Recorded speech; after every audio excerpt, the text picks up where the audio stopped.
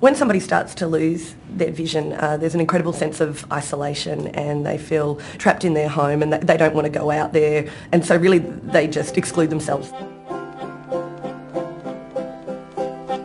When I received my first guide dog, it absolutely changed my life.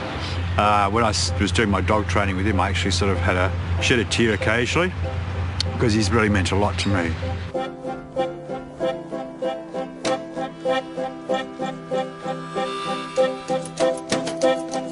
With pins and ribbons and things, obviously vision impaired people can't see them. If someone's wearing a, a ribbon or a badge, you don't have any idea.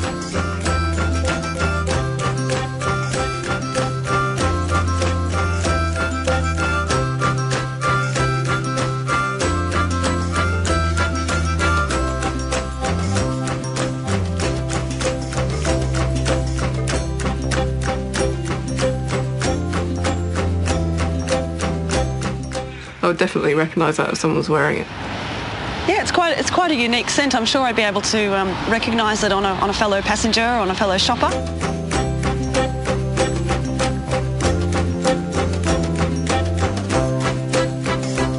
It's got a slight lemon smell, but not not a lemon smell. You know what I mean? It's got. That's certainly something I would wear. Hmm. Mm, it's really nice.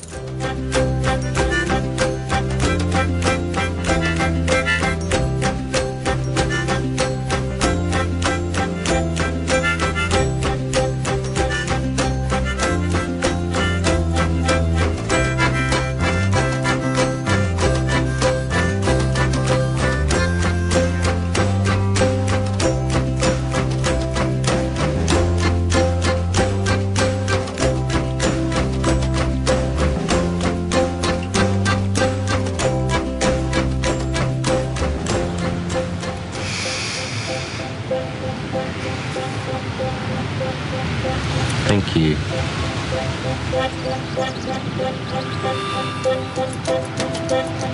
You're welcome.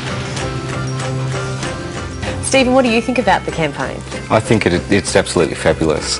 Um, if I'm walking around the streets or whatever and can can smell it on somebody, it's To be able yeah. to say thanks. Yeah, thank and you.